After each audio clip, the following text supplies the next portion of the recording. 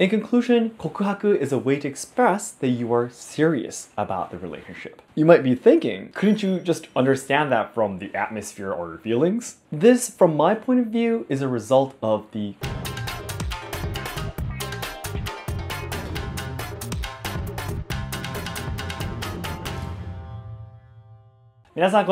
and welcome to Let's Ask Shogo. One of the strange cultures in Japan is kokuhaku, isn't it? When watching animated movies, there are often scenes of confessions, where a person tells another person that they like them and wants to date them. Many viewers have asked me how it actually works. As a Japanese person, I've always taken this custom for granted, so I wanted to use this opportunity to analyze it. So today, I will explain the three reasons why kokuhaku is important in Japanese culture. The reasons will get more and more important towards the end, so I hope you can check out all three.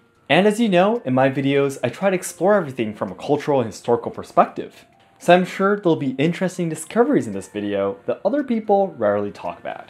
Keep in mind, however, that this is an opinion from a 20-year-old Generation Y person, as cultures vary greatly from generation to generation. I've heard that other countries have kokuhaku culture too, so please let me know in the comments what it's like in your country. In this channel, you can take a closer look at Japanese culture, tips on traveling to Kyoto, and social problems in Japan. So learners and lovers of Japanese language and culture, be sure to subscribe to enjoy more content. それでは本日は告白について分析してまいりましょう。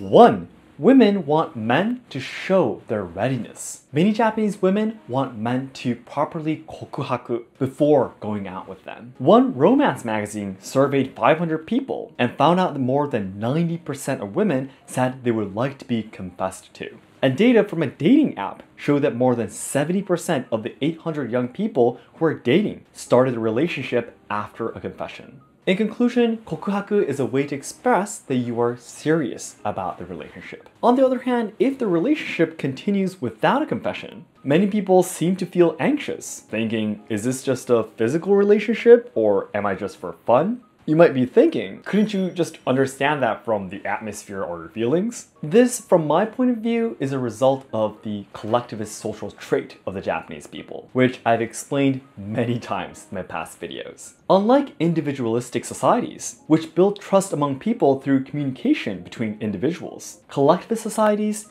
do it through the structure or system of that society. In other words, it is a relationship of trust that says, you and I will both follow the rules of this society so we can trust each other without talking. In a collectivist society, people avoid individual communication as much as possible because they don't want to stand out and become a nuisance to the group. Specifically, in the case of Japan, this was especially necessary to unite to overcome emergencies caused by the many natural disasters and to adapt to the social system that was built during the Edo period. This is why Japanese people take manners and rules very seriously. It's how we communicate in collectivism. In other words, one of the characteristics of Japanese people is that they're not good at communicating with other individuals and have a hard time trusting others on their senses. This is why they can't be reassured unless their partners say directly, I am serious about our relationship. Anyone watching this video who wants to date a Japanese person may want to confess their feelings at an early timing if they want to be with that person more.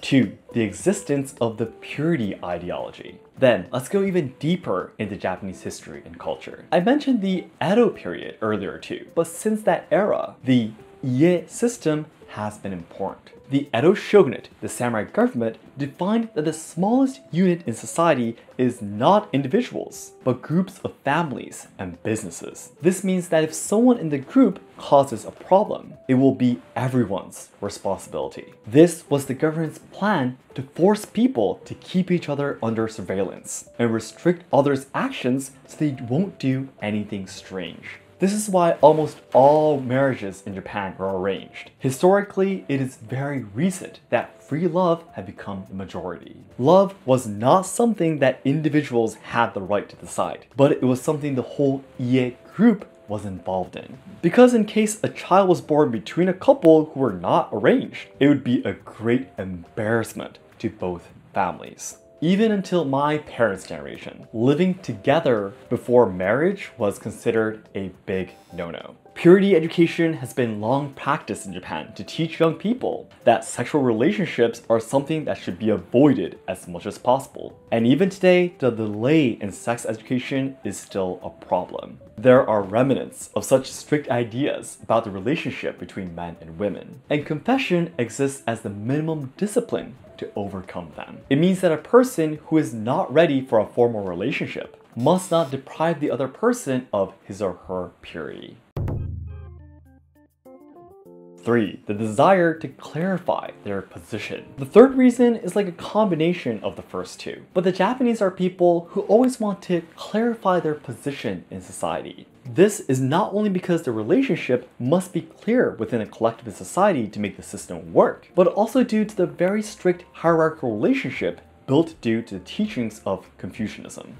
And of course, the one who applied Confucianism to Japan was the shogunate, the samurai government during the Edo period. This is how Bushido, the aesthetics of always obeying superiors and dedicating their lives to them, was born. Japan today, of course, is not ruled by any samurai anymore, but it is still a society that's very difficult to communicate if your position is not clarified. For example, when two Japanese communicate, using or not using keigo, the polite language, is a big difference. This is the deeper reason why Japanese people can't quit using business cards. Because people's attitudes will greatly change depending on where that person is in the company. They want to exchange name cards as soon as possible to talk more comfortably. This is exactly the same with love. If you are dating, your age wouldn't matter and the couple will be in the same position. But to really trust that, you need some kind of proof. In other words, many Japanese cannot fully trust someone unless they are in a formal relationship.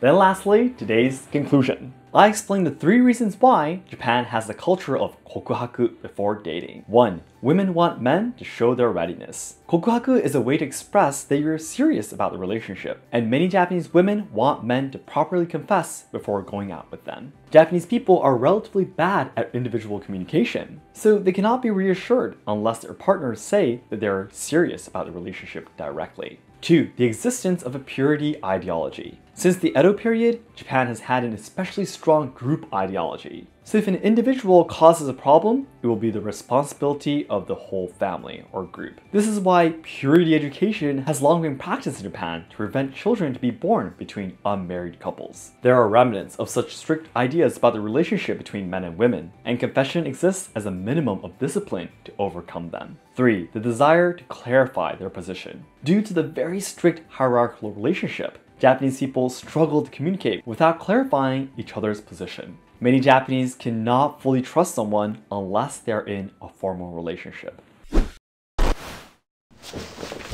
So that's it for today. Thank you very much for watching. If this video helped you to deepen your understanding towards the kokuhaku culture in Japan, please hit the like button to help me boost this video to more people.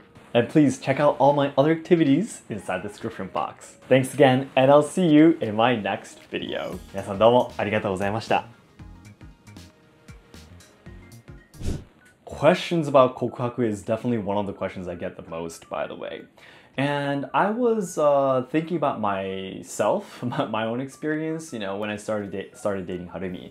Um, you might have heard from all my previous live streams or uh, videos and such, but Harumi and I actually started dating on the day we basically went out to have lunch together for the first time. Yeah, it was three days after we met for the first time actually. Yeah, we met on a certain day at an event. Yeah, an, an uh, event held in Beijing.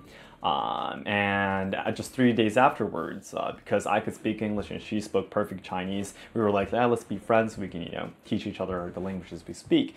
And three days afterwards, we went to have lunch together. And even though we went to go lunch together, we went to a cafe afterwards for six hours and went karaoke for another three hours and went to convenience store to grab more beer for another hour. And then she came over to my house and then we were awake till like 3 or 4 a.m. in the morning. We were watching like three movies. And yeah, it was like, you know, it's really, really obvious that you're going to be dating properly, right? Yeah. But still, I do remember that uh, inside my room in my dorm, actually, I was looking at that place. on. I actually did do the kokuhaku to Harumi too. Yeah.